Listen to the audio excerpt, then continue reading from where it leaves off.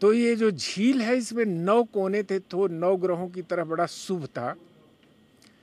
लेकिन जीवन के लिए ऑक्सीजन की अत्यंत आवश्यकता होती है। मछलियाँ भी ऑक्सीजन के बिना नहीं रह सकती। तो इस झीलों में, कालांतर में ऑक्सीजन की कमी हो गई थी। तो ये बड़ा अच्छा सरकार ने निर्णय लिया कि इसमें सबसे पहले ऑक्सीजन की आपूर्ति की जाए। तो अगर आप देखेंगे तो उनतालीस जगहों से पानी के अंदर ऑक्सीजन जो है दी जा रही है। तो साल भर से हमारा विश्वविद्यालय जो है ये देख रहा था कि ऑक्सीजन आने से जो बायोलॉजिकल डाइवर्सिटी है, मछलियाँ ही नहीं जैसे कवक है, एल्गी जिसको आप बोलते हैं, अगर एल्गी नहीं होगी जो उनका भोज्य पदार्थ है तो मछलियाँ क्या खाएँगी? तो अब स्थिति ऐसी आ गई है कि ये झील जो है उस स्थिति में आ गई है जहाँ मछलियों का अनुपालन हो सके। तो इसलिए आज पहली किस्त के रूप में चार हज़ार मछलियाँ जो है इसमें डाली गई हैं। उनके चार हज़ार मछलियों के बीज जिसको हम कहते हैं फिंगरलिंग्स डाले गए।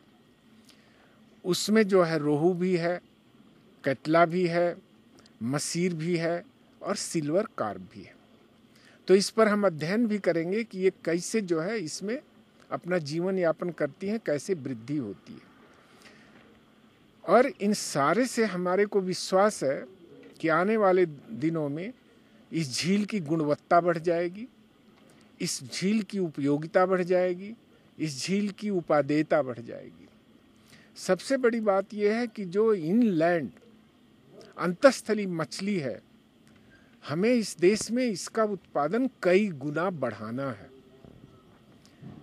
जल संरक्षण के लिए, जल के सदुपयोग के लिए, जल की गुणवत्ता बनाए रखने के लिए, जो बायो रेमिडिएशन है, उसके लिए भी ये बहुत ज़रूरी है। क्योंकि कहते हैं ना, सुजलाम, सुफलाम, मलय, शीतलाम। अगर स्वच्छ जल नहीं होगा तो स्वच्छ वायु कहाँ से होगी? और स्वच्छ जल और स्वच्छ वायु नहीं होगी तो कृषि में उत्पादन कहाँ से होगा? तो हमें देश में मछलियों का उत्पादन, अंतस्थली जो मछली है, ताल, तलैया, झील जो है, इसमें कई गुना बढ़ाना है। और इस पर काम जो है पूरे देश में तेज़ी से हो रहा है। जब इसमें मछलियाँ आएँगी तो जो टूरिस्ट हैं, उनको भी आकर्षित ये अपनी तरफ़ करेंगी। और साथ ही साथ अब तो मछलियाँ इतने तरह की हो गई कि जो रंगीन मछलियाँ हैं बहुत जगह जिसका लोग पालन पोषण करने लगे और जीविकोपार्जन का साधन मात्र के रूप में भी है। तो मुझे विश्वास है कि ये जितनी पहाड़ियाँ आपको दिख रही हैं जो बगल में, कुछ दिन में यहाँ रंगीन मछलियों का एक्वेरियम भी जो है बन जाएगा, जो आकर्षित करेगा लोगों को।